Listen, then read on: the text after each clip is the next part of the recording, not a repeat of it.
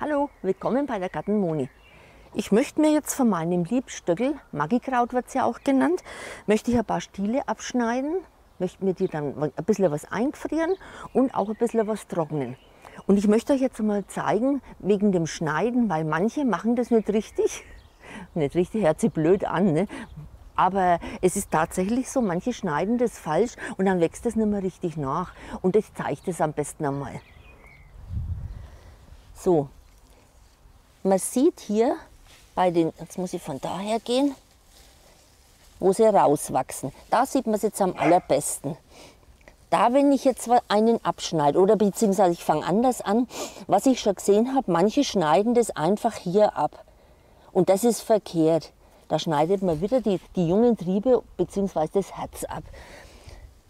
Ich nehme immer von dem Liebstöckel den äußersten kräftigen Stiel. Das ist also der jetzt hier, der da. Und den kann ich dann schon unten abschneiden. So. Mmh, toll riecht es. So. Und da ich jetzt mehr, ach ja, und dann sieht man da, ja, ja, ja. Da treibt er auch wieder aus. Da kommt schon wieder ein Blatt. Also das muss man alles stehen lassen. Und ich schneide auch jetzt das nicht weg, damit ich das nicht zu sehr schwäche. Das lasse ich jetzt einmal stehen. Hier der nächste Stiel, also das sind drei. Das bleibt das in der Mitte stehen, das weiter wächst. Das lasse ich auch noch ein bisschen stehen. Dann nehme ich da wieder den kräftigsten und schneiden einfach, dass ihr das seht,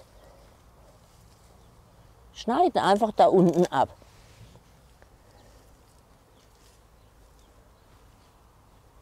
Ich hoffe, das sieht man. Also immer nur den kräftigsten, die anderen stehen lassen, wieder wachsen lassen und dann kann man wieder ernten.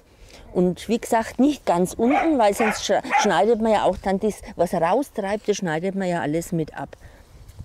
So, das mache ich jetzt einmal überall weil ich eben, wie gesagt, ein bisschen was einfrieren möchte und ein bisschen was trocknen schon. Schön. Magikraut heißt es ja deshalb so, weil das nach Maggi riecht.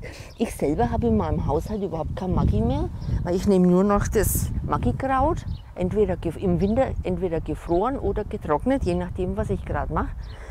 Das sage ich dann später.